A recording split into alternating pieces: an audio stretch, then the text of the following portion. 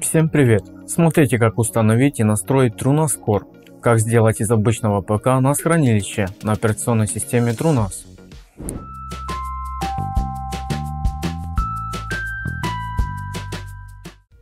Друзья, если вам нужно восстановить удаленные данные, просмотреть или восстановить очищенную историю интернет-браузера, то в этом вам помогут программы компании Hetman Software. Перейдите на сайт по ссылке из описания, бесплатно скачайте и установите нужную программу. Запустите анализ диска. Утилиты отобразят доступные для восстановления данные, и вы сможете просмотреть и вернуть их. На нашем канале и в блоге вы найдете решение любого вопроса, начиная от установки системы, ее настройки и исправления возникающих проблем и ошибок, и заканчивая оптимизацией работы мобильных устройств. Наши специалисты с радостью ответят на ваши вопросы в комментариях к роликам или статьям. TrueNAS Core, ранее известный как FreeNAS, это бесплатная операционная система для хранения данных с открытым исходным кодом, которая дает возможность создать собственный сервер для хранения данных без затрат на программное обеспечение. С помощью TrueNAS можно сделать из обычного ПК сетевое хранилище с полным функционалом NAS устройства, современной файловой системой ZFS и различными плагинами. Файловая система ZFS для большинства пользователей является одной из фаворитов для серверов NAS, так как она предназначена для обеспечения максимально возможной целостности данных, а также отличной производительности и эффективности. Она предоставляет сжатие и дедупликацию в реальном времени, что значительно экономит место на дисках. Далее в видео мы рассмотрим процесс установки TrueNAS и базовую начальную настройку сетевого устройства. Прежде чем устанавливать данную операционную систему, ознакомьтесь с минимальными требованиями. Для нормальной работы системы TrueNAS на компьютере должно быть как минимум 8 ГБ оперативной памяти. Если планируется установка виртуальной машины или дополнительных плагинов, желательно использовать больше 8 ГБ памяти.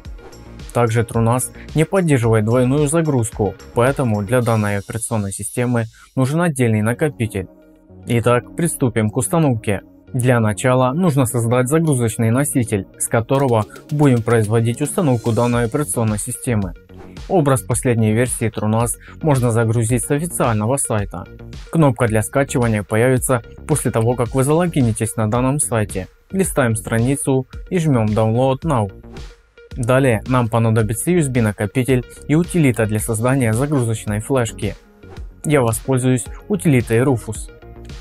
Здесь все просто. Выбираем флешку, указываем путь к образу и жмем кнопку Старт. После того, как загрузочная флешка будет записана, подключаем ее к ПК на который нужно установить TrueNAS, и загружаемся с USB носителя. В зависимости от модели материнской платы, клавиша F12 или F2. Выбираем из списка USB носитель и жмем Enter.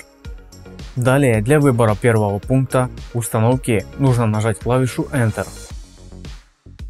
На следующем этапе выбираем первый пункт Install Upgrade, а затем Enter. Если на ПК меньше 8 ГБ оперативной памяти, вы увидите следующее уведомление. В следующем окне выбираем диск, на который будет установлен TrueNAS. Определить нужный накопитель можно по размеру, так как названия дисков будут другими.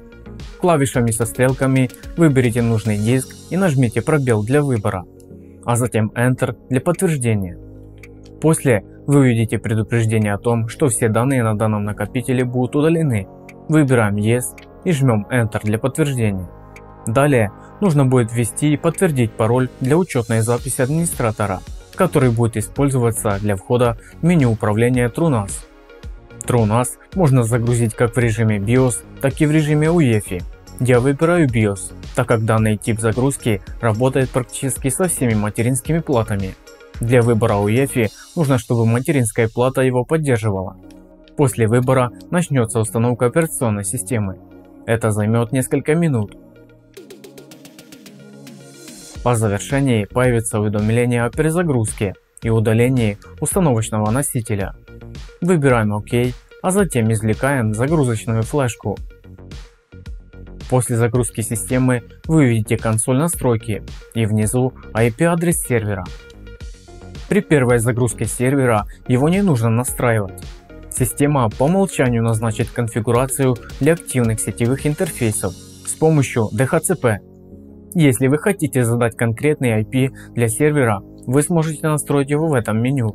Выбираем первый пункт, затем вводим номер сетевого интерфейса, который нужно изменить. На запрос удаления текущей настройки вводим нет. Настройки интерфейс для DHCP тоже нет. Изменить конфигурацию IP версии 4 Yes. Вводим IP адрес, маску под сети, настройку IP версии 6 нет. На этом настройка сети окончена. Как видите, IP адрес сервера изменился.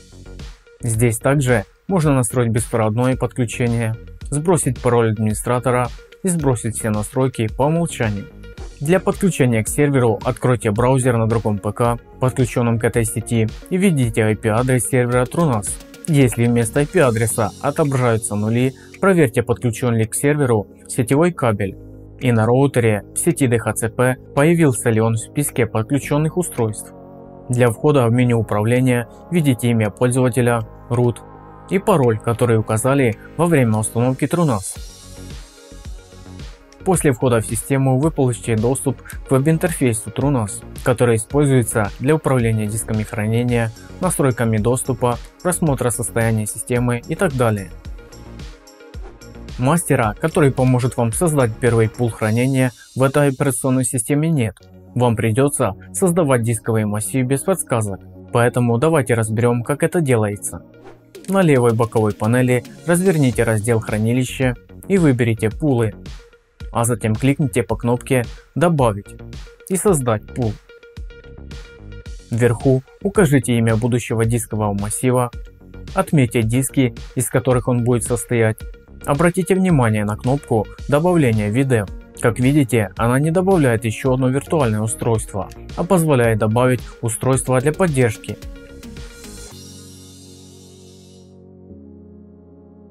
После выбора диска внизу нажмите по стрелке чтобы добавить диски в список устройств хранения. Снова отмечаем накопители. Здесь по умолчанию выбран RAID Z.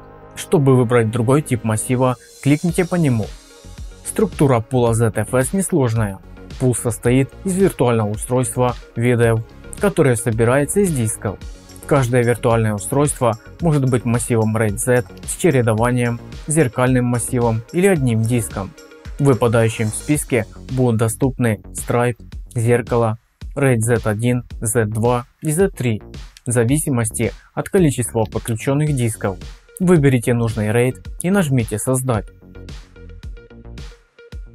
Во всплывающем окне предупреждения, что все данные будут затерты, установите отметку и нажмите «Создать пул». После чего начнется форматирование дисков и процесс построения массива пул создан. Как видите, здесь отображен его статус, имя, размер и другие параметры. Кликнув по трем точкам, вы увидите меню настройки данного пула. Теперь осталось настроить сетевой доступ к данному дисковому массиву.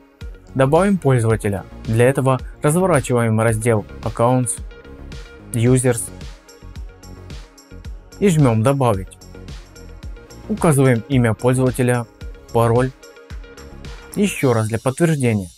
Устанавливаем отметку Microsoft Account и жмем отправить, Submit. Итак, пользователя мы добавили. Теперь настроим сетевой доступ к каталогу. Я покажу как настроить сетевой доступ на примере протокола SMB. Открываем раздел хранилище, пулы, жмем по трем точкам напротив нашего массива и выбираем ADD Dataset. В настройках вводим имя и все остальное оставляем по умолчанию. Жмем отправить, Submit. После мы видим в нашем поле новый датасет. Теперь для организации доступа создадим еще один датасет в ранее созданном. Для этого жмем здесь по трем точкам add dataset. Вводим имя и жмем Submit. Теперь настроим права для этого жмем по трем точкам и открываем Edit Permissions. Выбираем овнера нового пользователя, группу Устанавливаем отметки Apply User и Apply Group, отмечаем нужные права и жмем сохранить. Далее нужно включить службу, чтобы получить доступ с машины с операционной системой Windows. Открываем раздел Sharing, Windows Share SMB. Жмем здесь добавить ADD. Выбираем из списка наш датасет и жмем Submit. Затем во всплывающем окне Enable Service. Затем в этом окне выбираем «Настроить сейчас». Следующее окно предлагает создать ACL. Я выберу один из пресетов, отмечаю Select Preset ACL и выбираю из списка ограниченный Restricted. Continue. После вы видите на правой стороне новую настройку. Жмем внизу «Сохранить». Итак, на этом настройка SMB для данного каталога настроена. Теперь переходим к компьютеру с Windows, открываем проводник и добавляем сетевой диск. Компьютер подключить сетевой диск. Вводим IP адрес сервера и устанавливаем отметку «Использовать другие учетные данные». Если этого не сделать, система будет подключаться с учетными данными пользователя системы. Готово. Вводим имя нового пользователя, которого мы добавили в TrueNAS, и пароль. Сетевой диск подключен. Теперь здесь можно создать каталог и записать данные на диск.